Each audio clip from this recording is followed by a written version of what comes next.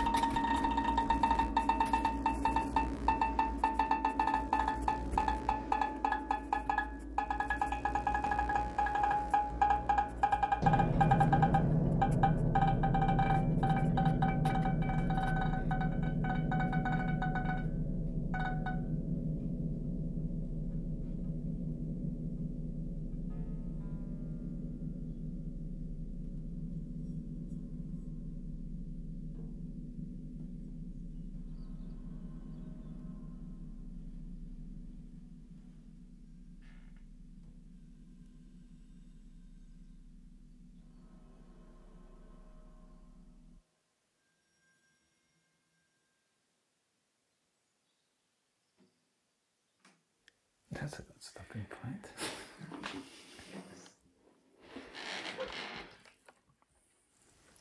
I'm sure this is something that, like, um, for both of you playing like laptop and laptop together for a long time, is the kind of blurring of source, which is really interesting. Which, for me, in this context, because I'm playing acoustic instruments alongside double laptop, there's very little source blurring, so it's kind of like an interesting, um, like, dialogue there where like I can clearly hear my sounds and, and where they're coming Mm-hmm. from. And then between the two of you, like it kind of fuses. And then like a little birds from outside uh, Right. get a little kind of confusing as well. But um, yeah, it's kind of an interesting sensation. You know, I don't often play purely acoustically, so that's a, a bit of a departure for me as well. Yeah. but even even when we play with you know, purely acoustic musicians, which we sometimes do, I mean, most of the work we do is as a duo together with laptops only because we rarely use other things. However, the sources that we use are very I don't know, very diverse. Yes. You know, we we of course use a lot of material that has you know that originates from field recordings or from manipulations, so studio recordings of manipulated objects uh, or of musical instruments. Um, but we also use a lot of synthesis and. Uh, I don't know, potpourri yeah. of, uh, approaches to, to sound design. Yeah, th th there's a thing, it's important, okay, for me and for us, but yeah, we use different kind of sounds and different kind of uh, sources of mm -hmm. sounds, of course. And sometimes with, uh, okay, let's say um, instruments or, um, but the thing is, um, all the work it's it's it's progressive you know because sometimes i have the same attitude live as i have in studio for example because mm-hmm. the thing is to understand the sound and to go on with the the the, the processing and the, the some uh, different kind of results and so on. Sometimes I, we have surprises. I like to use this kind of uh, tool, of course, and I can program. Okay, I'm not program. Miguel do it, but but I can with with with this um, with this tool with this instrument. But the thing is to use al always uh, go on with the work, not uh, not finished, not uh, mm -hmm. finished. Okay, we have structures, but sometimes it's important to to to feel it that it's really not finished because sometimes I use the same sounds and Miguel use the same sounds, but they sound different because I can uh, change the, the mm. sound. So that's that's important with this kind of instrument. So sometimes I have experience, okay, not like you, of course, but in studio to make some uh, recordings of sounds and different kind of sounds, instruments or materials or stones or whatever, mm. you know. And sometimes it's it's a really concrete sound, but uh, and it and it's okay because I have mm-hmm. the chance to use it different ways uh, uh, every time. So we, okay, I'm yeah. speaking about me, but it's we, we can do yeah. it, yes. no, and we want to do it. It's a very open-ended. It's a. It tends to be a very open-ended process. Mm. some of the sounds in my patch have dates, and I have things here with dates from 2009. Right. Yeah. some were made last week. So, um, because you know, some of these structures are, well, some of them are very long.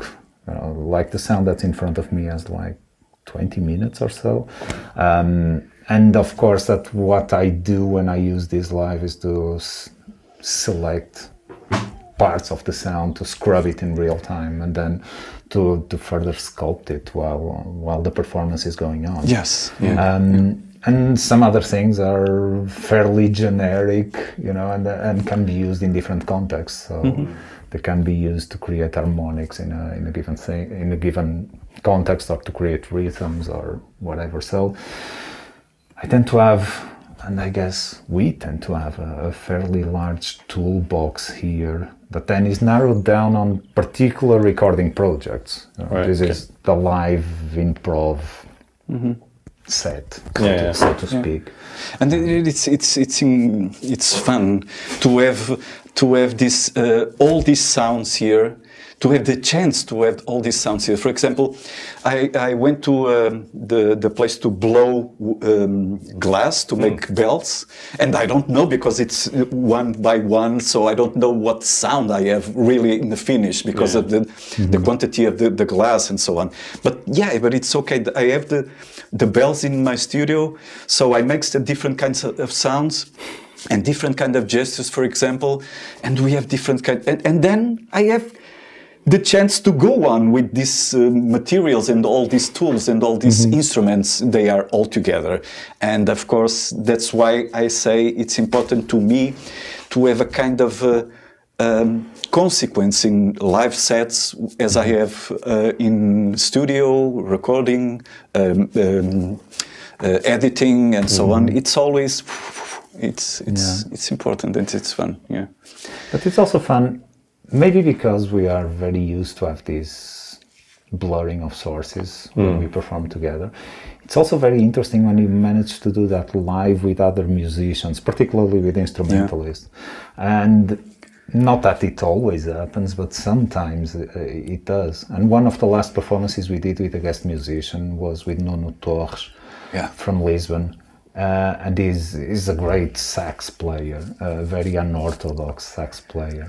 And although we had two laptops and a sax on stage, it wasn't really clear who was doing what. Um, and I think that's a really interesting I mean, it's interesting from our perspective, but it's also interesting from the audience's perspective. Yeah, Um, it's like, you know, usually it's not very clear what either of us is doing. You know, we don't have musical gesture. Yeah. Yeah. Um, but in that case, you had an actual instrument on stage, and the three of us, w- timbrically speaking, we were extremely close to each other. So that was a, a pretty fun experience. Yeah. Cool. Yeah, I mean that's something that I've experienced a lot more. Like like when I've done some of these, let's say with like another drummer, percussionist, or someone who's doing like instrument plus electronics, and then those cases, I'll often have stuff where like particularly as you're exploring sounds, you might have something that is I'm not sure because it'll be a new sound to me as well. So I'm like, was that me or was that them? And you know that becomes a lot. Uh, it's an interesting thing to explore because it's it's surprising as a performer. Um, it's it can be surprising as an audience because I, I think there's a difference. So like if I if I make a sound that I've never heard, um, it's novel to me in a way that is not necessarily going to be novel to an audience member because for them sure. maybe all of the sounds are sounds they've never heard. So like that one sound is no more special than another. Um, but when yeah playing with other people when that kind of material emerges, it's like was it me? Was it you? Was it you know? Like, and it becomes like a, a like a, a not an inside joke, but like a a kind of a, an intra musician mm-hmm. Mm-hmm. phenomenon that that like Yeah. is doesn't it maybe translates into overall energy and that like I didn't find I Don't Inside Job by Ligidi on Apple Music. but it's fun be- because of course of course here you are there and so the sound the direct sound it's there so sure. i can imagine the sound was made by you yeah Yeah, yeah, yeah. but sometimes we, i have the same experience with it in, in stage for example because i don't know which one was the the guy who made that kind of Yeah, sound yeah. and it's Yeah. absolutely uh, fused i don't yeah, know yeah. yeah. Yeah, also because then we have this. I mean, we work live, but we also compose in studio, and we do you know linear pieces or audiovisual sometimes, and we do installations. So we tend, we also tend to share a lot of material, meaning that we have work folders that are shared uh, between the two of us, and where we have max patches, logic documents, all the samples, etc., etc., etc. So sometimes, you know, I have stuff in my patch that I don't know if it started with me or with him, or you know, started by him and then I did something to it. So that means when we are performing live. Know, sometimes there are sounds that he plays that I think I also have in my patch, or are quite similar to stuff I have, which is really Yeah. i- it's interesting. It, it, it, it's it's a very interesting dynamics that the few times we do you know pre-composed linear stuff, I tend to to honestly miss. yeah yeah yeah Uh, I mean, it's interesting to do pre-composed and rehearsed stuff, but it, it's a very yeah. different. Uh, it's a very different experience. yeah Um, so even when we do that, uh, like for instance, this project we have with Gustav now, that is, you know, it has a score. It's pretty, pretty Yeah. much composed. We tend to leave uh, a rather, you know, a lot of space, a lot of room for improvising and for. Yes, I knew. Yeah, I'm the one who more improvised because yeah, it's it's it's important for for me. Eh, eh, Yeah, we have that score, that graphical score, of course, and we have the structure, of course, and and the parts of that structure have the space to improvise and to have. Uh, different kind of experience. And it's always different. Of course uh, if you listen the structure is there so you can understand the composition. But the place of the sound and the distance and the time uh, between that uh, blocks of uh, parts of the composition it's important to me uh, to have that uh, uh, freedom to to have space to, for improvising and to use. And even for me wow what's got, what's, what two- happens? Yeah what was when cool. the two of us perform, we very often do you know, free improvisation. We can call it that because Yeah. that's what happens. Uh, we don't necessarily have a set structure that we pre-compose. Well, sometimes we do, but most of the times not. Just go for it. Yeah, but it, solid 35 Yeah, or yeah. 40 minutes of music without. yeah, yeah. But uh, for example, we are mixing now the finished mixing the the, the record of uh, um, With Gustav. with Gustav, and of course uh, uh, we listened that.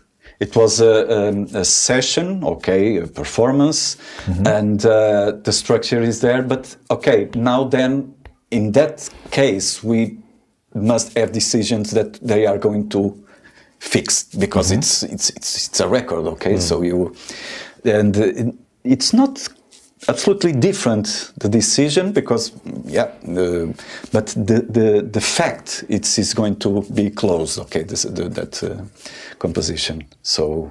It's a kind of different kind of a proof, so yeah, yeah. but it's okay. It's cool. Yeah. Cool. We If you have the consci- conscious, it's, it's important to, to do Yeah. it. uh, yeah. Yeah.